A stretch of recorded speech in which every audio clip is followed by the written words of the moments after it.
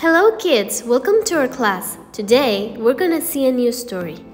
This is the story of Connie Cockatoo. You can use your pace of word building or animal science. Connie Cockatoo was a colorful crested cockatoo who lived in a castle in Cockatoo country.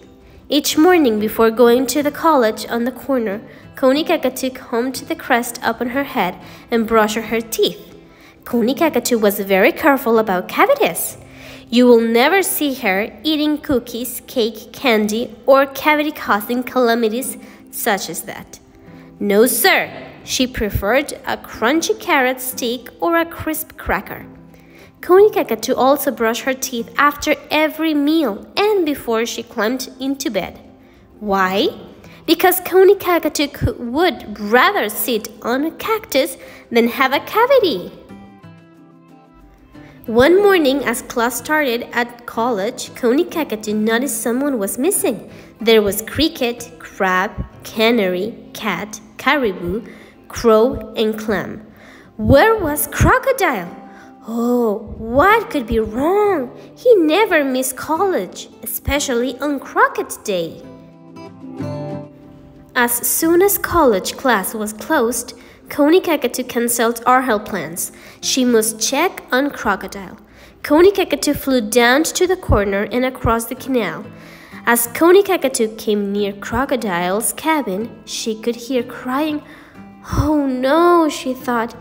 He may have a cavity. I hope he hasn't been eating candy. As Crocodile opened the door, Connie Cockatoo could clearly see what caused Crocodile to miss college. He had a painful cavity. Crocodile asked Connie Cockatoo in a caring voice, What have you been eating? Oh, Connie Cockatoo, answered Crocodile, sitting on a log. Nothing much except cartons upon cartons upon countless cartons of caramel candy. Countless cartons of caramel candy? Exclaimed Connie Cockatoo. Come with me to see my cousin, the dentist. He can take care of that cavity. But you must never be so foolish again. That night, back in her castle, Connie Cockatoo couldn't sleep. She was concerned about cavities. As the clock struck 10 o'clock, Connie Cockatoo knew what she could do to help all her friends avoid cavities.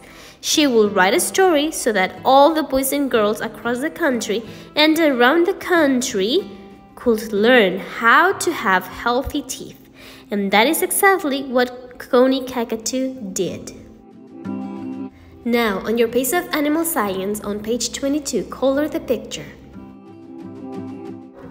On page 23, use a ruler to draw lines from 1 to 10. Color Connie Cockatoo toothbrush the same color as your toothbrush.